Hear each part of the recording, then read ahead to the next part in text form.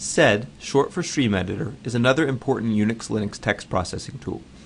Each line of a sed program has three parts an address that indicates which lines the command will operate on, an instruction that tells sed what to do to the line, and an argument list that may modify the behavior of any given command. Before we start writing commands, let's see what sed does with no commands. To run a sed command on a file, we write the command sed, put the program in single quotes, then write the name of the file. If I leave those quotes empty, by default sed will read in each line in the file and print it out. Let's write a simple sed command that will work on the file.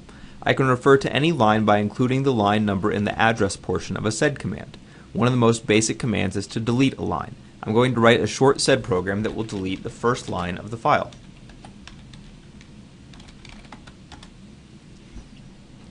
Occasionally I might want to apply a command to all lines that don't match a given input. I can reverse the range the command applies to by adding an exclamation point in front of the command. I can also apply a command to a range by specifying a beginning and ending line separated by commas. I'm going to modify my previous command to delete lines 1 through 3.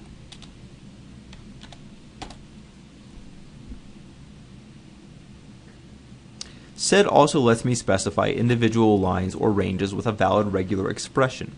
If I wanted to delete all of the lines with the word it, I can put that word in between forward slashes to indicate that it is a regular expression.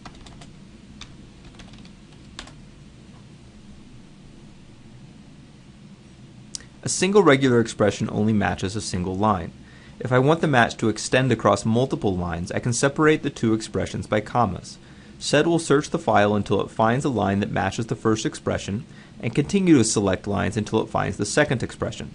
Then it will keep going after that until it finds another match to the first expression, and hopefully another match to the second as well. So be careful with this.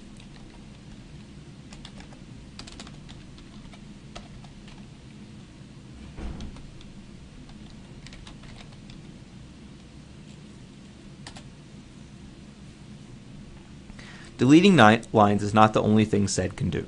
There are quite a few other commands, the most important of which is the find and replace command, indicated by an S. The syntax for the S command is S followed by a separator character, usually a slash, but it does not need to be, a regular expression, another separator, another regular expression, a final separator, and any options. Let's replace all occurrences of on with up to see what I mean.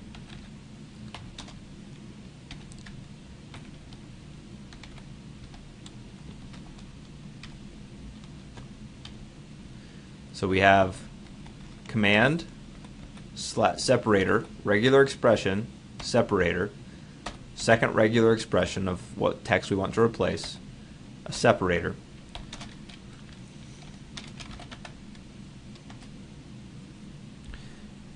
Notice that this matched every time the letters O N occurred, not just the word on, but it did so only once per line.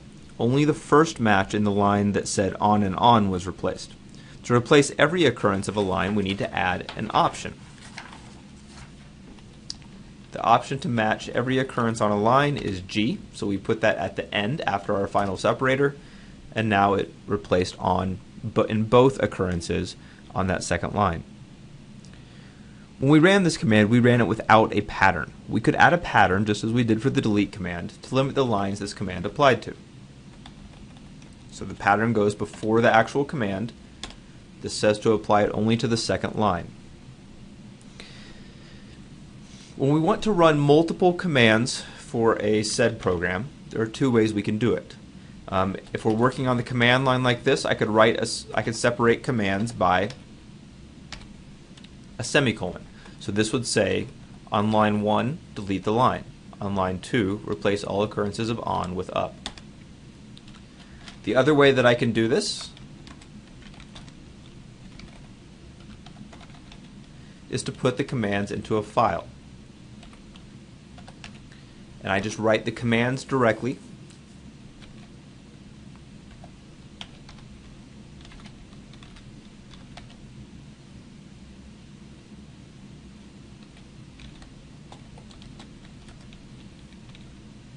And then I can run that the commands in the file by using sed with the dash f option